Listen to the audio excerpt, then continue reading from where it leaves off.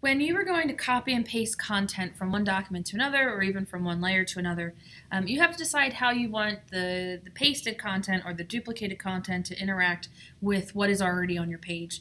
And do you want it to have a hard edge or do you want it to have a soft edge? And by default, if you just copy and paste something, it has a hard edge. And so you should consider um, that if, if in some cases you're trying to create maybe a collage where the images blend together in some way, you may want to have a feathered edge or a softer edge to your project. And so one of the ways to do this is to make the selection of whatever you would like to copy and paste, or sometimes you're just selecting what you want to get rid of and you're going to hit the delete key. Um, you can choose after you make that selection, or even before you make that selection, that there should be some sort of soft edge to it called a feather. And if you uh, create a selection first and then go to the select menu, modify, and feather, you can feather the edge of your selection so that whatever it sits on top of, um, it'll try to blend itself into that. Now, if you had something that was bright red, feathering into something that's bright green, it's not going to feather completely, um, but it would soften the edge. If you're proactive, you can do this before you even make your selection. So if you make a selection using a selection tool, uh, across the top of your screen, you'll see that there's different options for your selection, and one of them is feather. And so you can choose to feather 5 or 10 or 3,000 pixels. I wouldn't recommend that. Um, so as you're making the selection, you don't have to do anything else. Photoshop already knows you want a feathered edge to it. And so I want to show you how to combine images uh, to make a collage by feathering the edge uh, so that the images kind of fade into one another. I pulled these sample images off of our stock imagery and uh, I'm going to pretend that I just went on vacation and I wanted to create a little collage of the pictures that I took when I was on vacation. And in order to do that, um, I am going to, to merge these documents into one. And I don't, I'm not a fan of picking like, let's say this document and saying I'm going to bring all of the other files into it. I like to keep this file as is and I'll create a new document, file new, and maybe I'm trying to make a print that's 7 inches by 5 inches at 300. And now when I bring the artwork into here, I'll know how it fits in relationship to my output size. It's always good practice though to choose image and image size and to change your resolution to 300 before you do that. And you can see that this image is actually really small and so I couldn't use it on the entire 5 by 7 inch collage or postcard, whatever I'm making, but I could use it in part of it. And so I'm just going to go through and choose image and image size on all of these images, just so when they come over into the new document, they're already going to be the size that they should be for my output.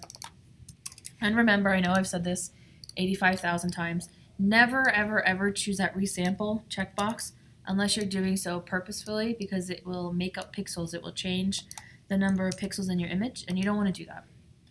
So now we can copy and paste. So I could do Command A to select all, Command C to copy, and then go to the document and do Command V to paste.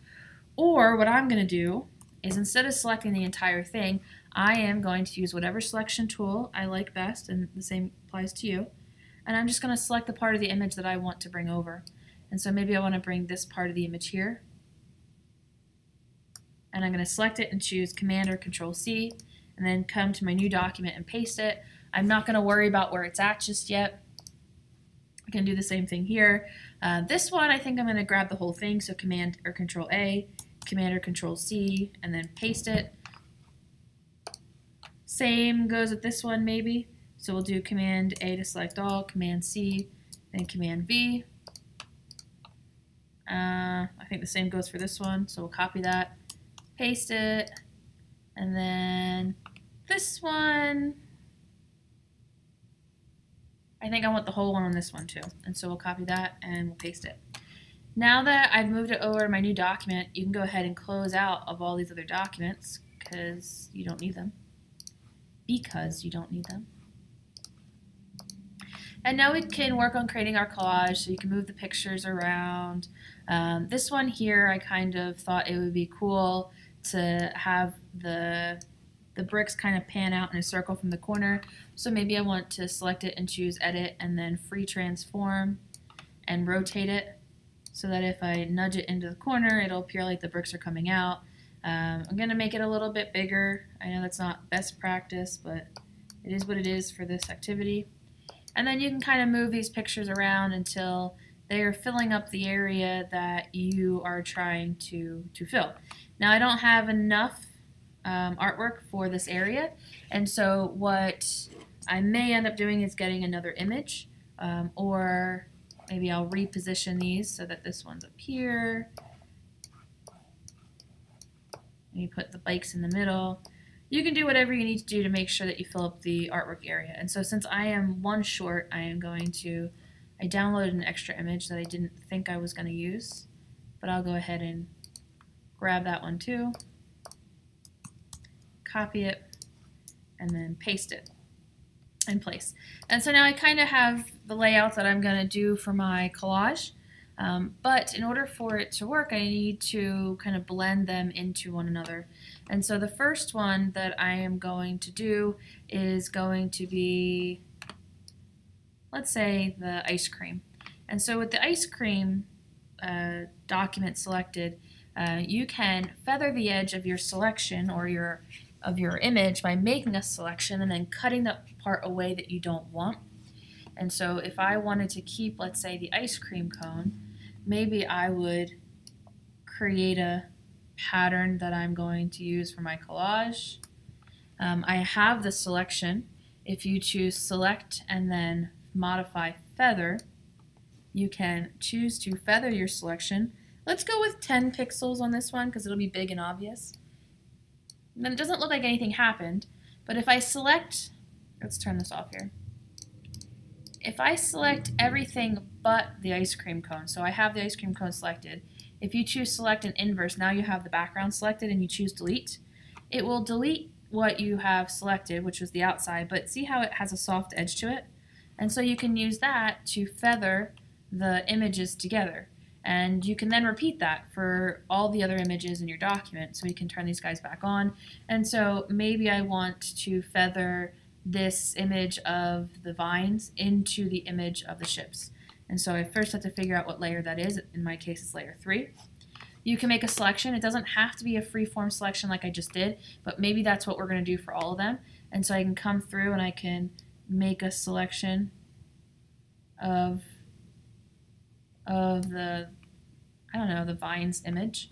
Uh, I'm going to do the same thing that I just did.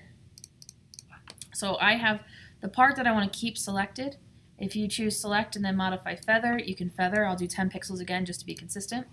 And then you need to select the part you want to get rid of. And so we'll do select inverse and then hit the delete key and now it has a soft edge to it. So if you turn the other layers back on, you'll see that you are starting to blend the images together. And so if I move the, the ship's image up, you'll see that it has a soft edge and it's blending into the image of the ships. Now, maybe I do edit free transform on the ship image. Why would it not let me do that? Edit, free transform.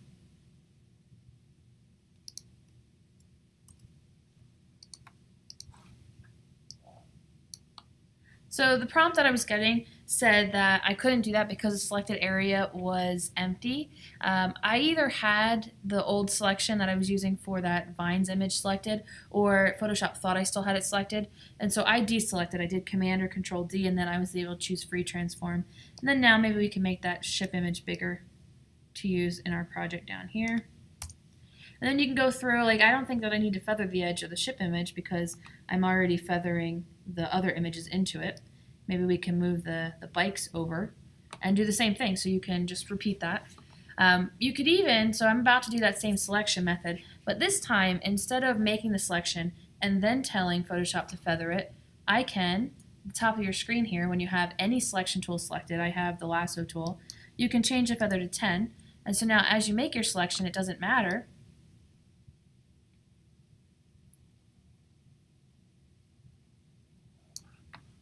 um, it automatically feathered the edge of that selection. Just like everything else though, I have what I want to keep selected and I want to get rid of the background and so I should do select inverse and then use the delete key.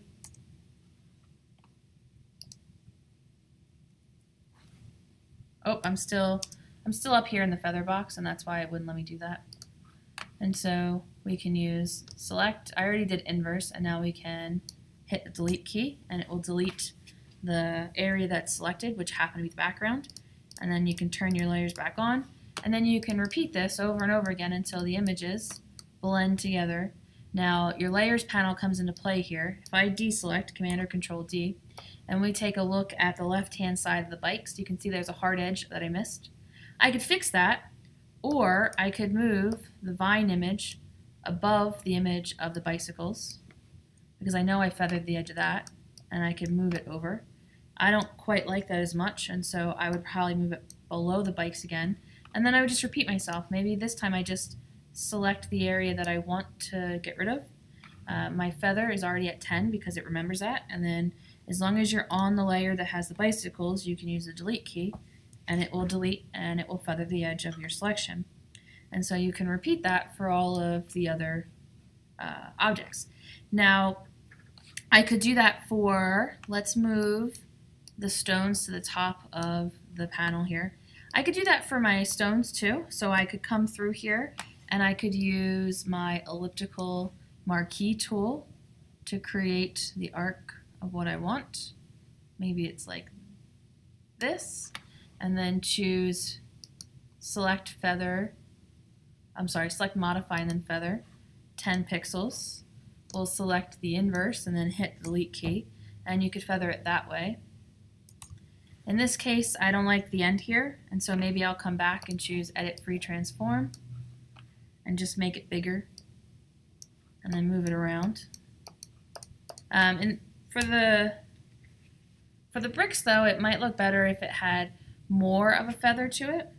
And so if we go back and we choose Step Backwards until our bricks are done, uh, what we could do is instead of feathering at 10 pixels, maybe we select Modify and we feather I don't know, let's do 30 pixels, to see how crazy that looks. And when we hit the delete key, can you see that now there's more feather to where the bricks overlap? Let's do it again. Let's do one more. Let's do select modify feather. Let's do, I don't know, 100 pixels. And now when you delete, can you see how the, the transition between the, the bricks image and let, just look at the, the green image up here that has the flowers on it, how it fades um, a lot more subtlety, more subtly. Okay, I'm going to leave it at that for this demo. Uh, in the next video, I am going to talk about how you can use a brush to paint the content from one file to another. And so as you're painting, you can add texture, like a painted texture to it, or you could add transparency.